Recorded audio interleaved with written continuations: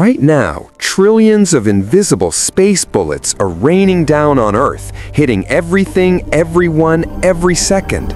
But what exactly are these mysterious cosmic rays, and why don't we feel them?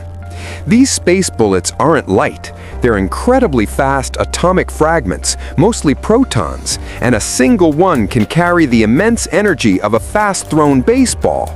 We don't feel them because Earth has two incredible protectors, our magnetic field, an invisible force field, which deflects most of these high-energy particles, and our atmosphere, which acts like a bulletproof vest, breaking down the rest into harmless secondary particles, a cosmic rain we walk through daily.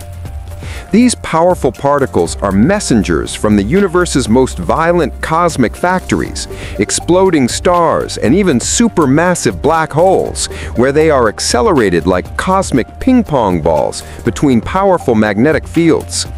We first learned this thanks to Victor Hess, who in 1912 bravely flew balloons high above Earth, definitively proving this radiation came from space, not Earth.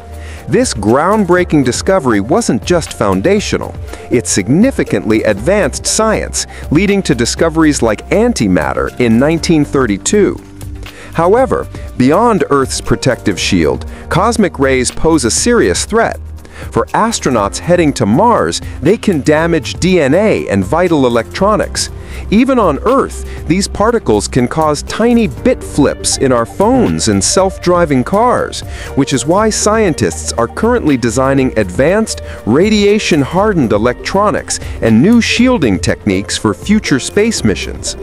Furthermore, we use cosmic rays as clues to solve the universe's biggest puzzles, like how some ultra-high energy particles appear from seemingly empty space, defying easy tracing.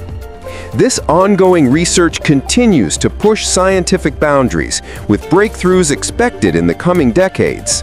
Cosmic rays are a constant reminder of the incredible, invisible forces shaping our universe, representing the ultimate cosmic puzzle waiting to be fully solved.